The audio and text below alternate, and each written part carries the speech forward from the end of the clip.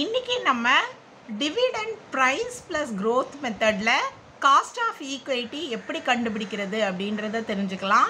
ஏற்கனவே நம்ம previous கிளாஸஸில் cost of கேபிட்டல்னால் என்ன? Cost of redeemable dept இரெடிமபிள் dept cost of equity dividend yield மெத்தடில் எப்படி கண்டுபிடிக்கிறது? இதையெல்லாம் டிஸ்கஸ் பண்ணியிருக்கோம். அந்த வீடியோஸை நீங்கள் மிஸ் பண்ணியிருந்தால் உங்களுக்காக அந்த வீடியோஸ்க்கான லிங்க்கை டிஸ்கிரிப்ஷன் பாக்ஸில் கொடுத்துருக்கேன். காஸ்ட் ஆஃப் ஈக்விட்டி கண்டுபிடிக்கிறதுக்கு டிஃப்ரெண்ட் மெத்தட்ஸ் இருக்குது dividend yield or dividend price method dividend price plus growth method earnings price method realised yield method cost of equity under CAPM அதில் இன்னைக்கு நம்ம டிவிடெண்ட் ப்ரைஸ் ப்ளஸ் க்ரோத் மெத்தடை தான் discuss பண்ண போகிறோம் நீங்கள் ஒவ்வொரு மெத்தடையும் தெரிஞ்சுக்கிறதுக்கு முந்தி cost of capital cost of ஈக்குவைட்டியோட மீனிங்கை ஃபஸ்ட்டு தெரிஞ்சுக்கோங்க. அந்த வீடியோஸ்க்கான லிங்க்கை நான் உங்களுக்கு டிஸ்கிரிப்ஷன் பாக்ஸில் கொடுக்குறேன். டிவிடெண்ட் ப்ரைஸ் ப்ளஸ் க்ரோத் மெத்தடில் காஸ்ட் ஆஃப் ஈக்குவைட்டி எப்படி கண்டுபிடிக்கிறதுன்றதை தெரிஞ்சுக்கலாம் ஓகே ஸோ நம்ம இங்கே காஸ்ட் ஆஃப் ஈக்குவைட்டி கண்டுபிடிக்க போகிறோம் எந்த அடிப்படையில் அப்படின்னு பார்த்தீங்கன்னா ஃப்யூச்சரில் எவ்வளோ டிவிடெண்ட் கிடைக்கும் அப்படின்ற ஒரு எதிர்பார்ப்பு இருக்கும் இல்லையா? அந்த எதிர்பார்ப்பு தான் எக்ஸ்பெக்டட் டிவிடெண்ட் அப்படின்னு சொல்லுவோம் அந்த டிவிடெண்ட் ப்ளஸ் அந்த டிவிடெண்ட் வந்து க்ரோத் ஆகும். ஓகே ஒரு குறிப்பிட்ட பர்சன்டேஜுக்கு க்ரோத் ஆகும். அதையும் நம்ம ஆட் பண்ண போகிறோம் so expected dividend plus growth in டிவிடெண்டை அடிப்படையாக வச்சு நம்ம காஸ்ட் ஆஃப் ஈக்விட்டி கண்டுபிடிக்க போகிறோம் ஓகே இந்த க்ரோத் ரேட் இன் டிவிடெண்ட் அப்படின்றது எதுக்கு ஈக்குவலாக இருக்கும் அப்படின்னு பார்த்தீங்கன்னா நம்ம earnings per share and market price per share இருக்கு இல்லையா? அதுக்கு ஈக்குவலாக இருக்கும். டிவிடெண்ட் ப்ரைஸ் ப்ளஸ் க்ரோத் மெத்தடில் நம்ம காஸ்ட் ஆஃப் ஈக்விட்டி கண்டுபிடிக்கிறதுக்கு ஃபார்முலா இருக்குது ஸோ இந்த ஃபார்முலா வந்து நம்ம ரெண்டு சுச்சுவேஷனில் கண்டுபிடிக்கலாம். என்னென்ன அப்படின்னு பார்த்தீங்கன்னா in case of new issue of shares அதாவது ஷேர்ஸை ஃபஸ்ட் டைம் இஷ்யூ பண்ணுறாங்க அப்படின்னா அந்த சுச்சுவேஷனில் காஸ்ட் ஆஃப் ஈக்விட்டி கண்டுபிடிக்கிறதுக்கு ஒரு ஃபார்முலா இருக்குது in case of existing shares அதாவது ஏற்கனவே கம்பெனியில் ஷேர்ஸ் எக்ஸிஸ்டன்ஸில் இருக்குது அப்படின்னா அந்த ஷேர்ஸுக்கு உரிய காஸ்ட் ஆஃப் ஈக்விட்டி கண்டுபிடிக்கிறதுக்கு டிஃப்ரெண்ட் ஃபார்முலா இருக்குது அந்த ஃபார்முலாவை இப்போ தெரிஞ்சுக்கலாம். Cost of equity is equal to D one divided by NP plus G இதுதான் நியூ இஷ்யூ ஆஃப் ஷேர்ஸுக்குரிய ஃபார்முலா இந்த டி ஒன் அப்படின்றது என்னென்னா expected dividend per share NP அப்படின்றது என்னன்னு பார்த்தீங்கன்னா net proceeds per share okay இந்த ஜி அப்படின்றது என்னென்னா growth rate in dividend okay இப்போ நம்ம ஏற்கனவே சொன்னோம் இல்லையா எந்த அடிப்படையில் கண்டுபிடிக்கிறோம்? எக்ஸ்பெக்டட் டிவிடெண்டும் க்ரோத் ரேட்டையும் ஆட் பண்ணி அந்த அடிப்படையில் தானே நம்ம காஸ்ட் ஆஃப் ஈக்விட்டி கண்டுபிடிக்கிறோம். ஸோ அதுதான் நம்ம ஃபார்முலாவில் எழுதியிருக்கோம். ஓகே அடுத்து பார்த்தீங்கன்னா in case of existing shares இதில் ஃபார்முலா பார்த்தீங்க அப்படின்னா cost of equity is equal to D one by MP plus G okay இந்த டி அப்படின்றது டிவிடெண்ட் பெர் ஷேர் எம்பி அப்படின்றது market price per share okay plus G அப்படின்றது என்னது? Growth rate so எக்ஸிஸ்டன் existing shares இருந்தது அப்படின்னா நம்ம மார்க்கெட் ப்ரைஸால் டிவைட் பண்ணணும். Okay cost of equity நம்ம ஒரு ப்ராப்ளம் போட்டு பார்த்து கண்டுபிடிக்கலாம். ஃபஸ்ட்டு நம்ம ப்ராப்ளமில் என்னென்ன இன்ஃபர்மேஷன்ஸ் கொடுத்துருக்காங்க அப்படின்றத ப்ராப்ளத்தை ரீட் பண்ணி தெரிஞ்சுக்கலாம். A limited pays a dividend of rupees four per share it shares are quoted at rupees forty presently and investors expect a growth rate of ten percentage per annum calculate cost of equity capital A limited வந்து ரெகுலராக அவங்களோட share ஹோல்டர்ஸ்க்கு rupees four வந்து டிவிடெண்டாக பே பண்ணிகிட்டு இருக்காங்க. அவங்களோட market price என்ன அப்படின்னு பார்த்தீங்கன்னா rupees forty investors growth rate எவ்வளோ இருக்கும் அப்படின்னு எதிர்பார்க்குறாங்கன்னா ten percentage per annum okay so இந்த சுச்சுவேஷனில் நம்ம காஸ்ட் ஆஃப் ஈக்விட்டி கேபிட்டல் கண்டுபிடிக்க போகிறோம் அடுத்த ஒரு இன்ஃபர்மேஷன் கொடுத்துருக்காங்க பாருங்க.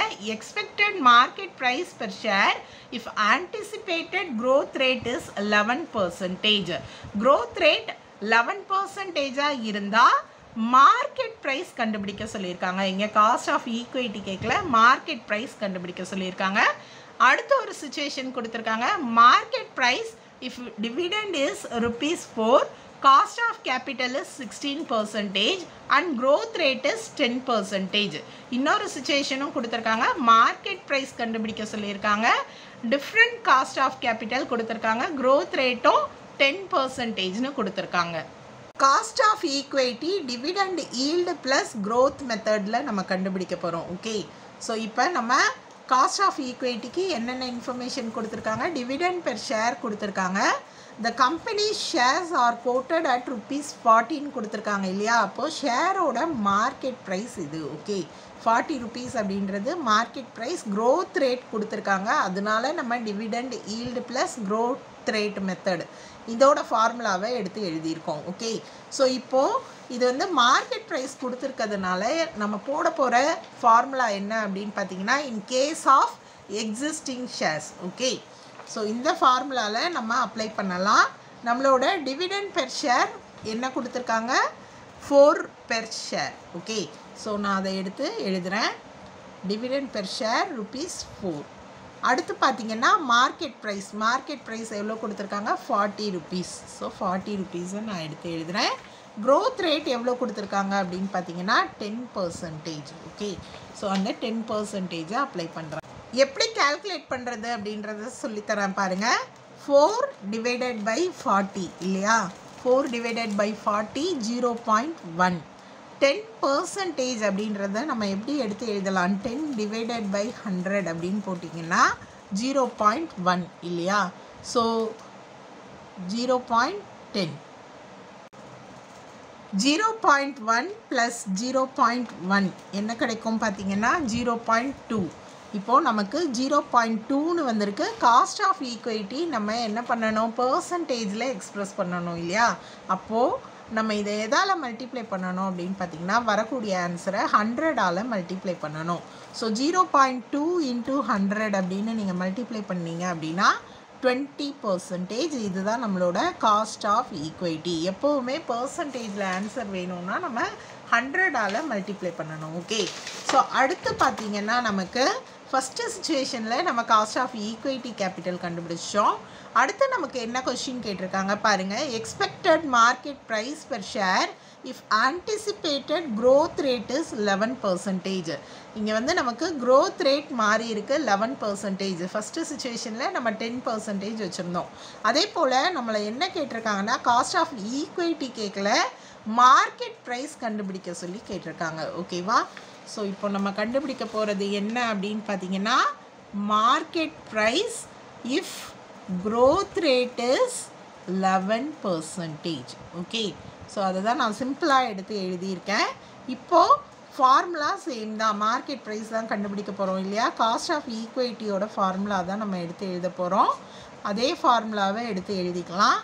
இப்போ நமக்கு ஒரு இன்ஃபர்மேஷன் மிஸ் ஆனால் தான் கண்டுபிடிக்க முடியும் இல்லையா? க்ரோத் ரேட் இருக்குது நம்மக்கிட்ட டிவிடெண்ட் பெர் ஷேர் இருக்குது காஸ்ட் ஆஃப் ஈக்விட்டி வந்து நம்ம ஃபஸ்ட்டு சுச்சுவேஷனில் கண்டுபிடிச்சோம் இல்லையா டுவெண்ட்டி பர்சன்டேஜ் இந்த டுவெண்ட்டி பர்சன்டேஜை தான் நம்ம இங்கே அசியூம் பண்ணிக்கணும் எடுத்துக்கணும் okay twenty percentage is equal to dividend per share நமக்கு ப்ராப்ளமில் கொடுத்தா அதே ஃபோர் ருபீஸ் தான் ஓகே மார்க்கெட் ப்ரைஸ் நம்மளை கண்டுபிடிக்க சொல்லியிருக்காங்க. க்ரோத் ரேட் வந்து லெவன் பர்சன்டேஜ் அப்படின்னு சொல்லியிருக்காங்க இல்லையா? ஸோ இப்போ நம்ம அப்ளை பண்ணலாம். இப்போ நம்ம எப்படி கேல்குலேட் பண்ணுறதுன்னு தெரிஞ்சுக்கலாம். இங்கே லெவன் பர்சன்டேஜ் ப்ளஸ் இருக்குது இல்லையா? ஸோ பர்சன்டேஜை நான் ஒன்றா எடுத்துகிட்டு வந்துடுறேன். இந்த டுவெண்ட்டி பர்சன்டேஜ்லேருந்து இங்கே இருக்க ப்ளஸ் சிம்பிள் இங்கே வரும்போது minus so twenty percentage minus eleven percentage இந்த பக்கம் வந்து four by market price so minus பண்ணீங்க அப்படின்னா உங்களுக்கு என்ன கிடைக்கும்னு பாருங்கள் நைன் பர்சன்டேஜ் இல்லையா?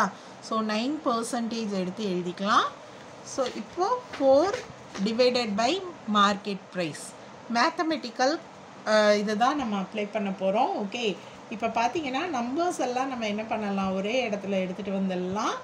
அப்படி எடுத்துகிட்டு வரும்போது பார்த்தீங்க அப்படின்னா ஜீரோ பாயிண்ட் ஜீரோ நைன் இது வந்து நைன் பர்சன்டேஜை நம்ம எப்படி எடுத்துகிட்டு வருவோம்? ஜீரோ பாயிண்ட் ஜீரோ நைனுன்னு எழுதுவோம் இல்லையா? So zero point zero nine இந்த மார்க்கெட் ப்ரைஸ் இங்கே எடுத்துகிட்டு வர்றேன் இஸ் ஈக்குவல் டு ஃபோர் அப்போது மார்க்கெட் ப்ரைஸ் நமக்கு தேவை அப்படின்னா நம்ம என்ன பண்ணணும்? இந்த ஜீரோ பாயிண்ட் ஜீரோ நைன் இங்கே மல்டிப்ளை இங்கே வரும்போது என்னவாயிடும்? டிவைட் ஆகிடும் இல்லையா? ஸோ நம்பர்ஸ் எல்லாம் ஒரே பக்கத்தில் எடுத்துகிட்டு வந்தாச்சு. இப்போ four divided by zero point zero nine அப்படின்னு நீங்கள் கால்குலேட் பண்ணிங்கன்னா forty four rupees forty four paise okay இது என்னன்னு பார்த்தீங்கன்னா மார்க்கெட் ப்ரைஸு நமக்கு ஒரு இன்ஃபர்மேஷன் மிஸ் ஆகிருந்தது அப்படின்னா அதே ஃபார்முலாவில் நம்மளால் கண்டுபிடிக்க முடியும். அந்த கான்செப்ட் தான் அப்ளை பண்ணியிருக்கேன் ஓகே அடுத்து நமக்கு ப்ராப்ளத்தில் பார்த்தீங்க அப்படின்னா மார்க்கெட் ப்ரைஸ் கண்டுபிடிக்க சொல்லியிருக்காங்க. If dividend is rupees four cost of capital is sixteen percentage இங்கே காஸ்ட் ஆஃப் கேபிட்டல் நமக்கு கொடுத்துருக்காங்க. அதே போல் க்ரோத் ரேட் டென் பர்சன்டேஜ்னு கொடுத்துருக்காங்க. நம்ம ப்ரீவியஸாக எப்படி போட்டோம்? அதே மாதிரி தான் ஃபார்முலா அப்ளை பண்ண போகிறோம் அடுத்த சுச்சுவேஷனுக்கு இங்கே காஸ்ட் ஆஃப் ஈக்விட்டி கேபிட்டல் வந்து சிக்ஸ்டீன் பர்சன்டேஜ் அதே மாதிரி க்ரோத் ரேட் வந்து எவ்வளோ கொடுத்துருக்காங்க? டென் பர்சன்டேஜ் இந்த சுச்சுவேஷனில் நம்ம அப்ளை பண்ண போகிறோம் cost of equity is equal to இந்த மெத்தடில் ஃபார்முலா என்ன? Dividend per share divided by market price plus growth rate market price தான் நம்ம கண்டுபிடிக்க போகிறோம் ஓகே காஸ்ட் ஆஃப் ஈக்விட்டி இப்போ நமக்கு ஃபார்முலாவில் என்ன கொடுத்துருக்காங்க? ப்ராப்ளத்தில் சிக்ஸ்டீன் பர்சன்டேஜ் ஸோ அதை நான் அப்ளை பண்ணிக்கிறேன். டிவிடெண்ட் பெர் ஷேர் அதுவும் கொடுத்துருக்காங்க. ஃபோர் இல்லையா? மார்க்கெட் ப்ரைஸ் நமக்கு தெரியாது. Growth rate ten percentage so நம்ம ஏற்கனவே அப்ளை பண்ணோம் இல்லையா? அதே மெத்தட் இந்த பர்சன்டேஜ் இங்கே ப்ளஸ் இங்கே வரும்போது minus ten percentage four divided by market price அப்போது இங்கே நமக்கு என்ன கிடைக்கும்னு பார்த்தீங்கன்னா six percentage four by market price six percentage இல்லைன்னா எப்படியும் எழுதலாம்? ஜீரோ பாயிண்ட் ஜீரோ சிக்ஸ் இல்லையா? ஸோ மேத்தமெட்டிக்கல் ஃபார்முலாவாக கொண்டு வரோம் இந்த மார்க்கெட் ப்ரைஸ் இந்த பக்கம் எடுத்துகிட்டு போயிடலாம். Zero point zero six MP is equal to four அப்போது நமக்கு மார்க்கெட் ப்ரைஸ் தெரியணும் அப்படின்னா இது வந்து zero point zero six into இல்லையா? டிவைடு இங்கே வரும்போது. ஸோ இங்கே வரும்போது zero point six zero six divide ஆகிடும் இல்லையா? ஸோ நீங்கள் டிவைட் பண்ணீங்க அப்படின்னா உங்களுக்கு எவ்வளோ கிடைக்கும்னு பார்த்தீங்கன்னா rupees sixty six point six seven இதுதான் நம்மளோட market price of the share okay இன்றைக்கி நம்ம டிவிடெண்ட் ப்ரைஸ் ப்ளஸ் க்ரோத் மெத்தடில் காஸ்ட் ஆஃப் ஈக்விட்டி எப்படி கால்குலேட் பண்ணுறது அப்படின்றத ஒரு ப்ராப்ளம் போட்டு பார்த்து தெரிஞ்சுக்கிட்டோம்.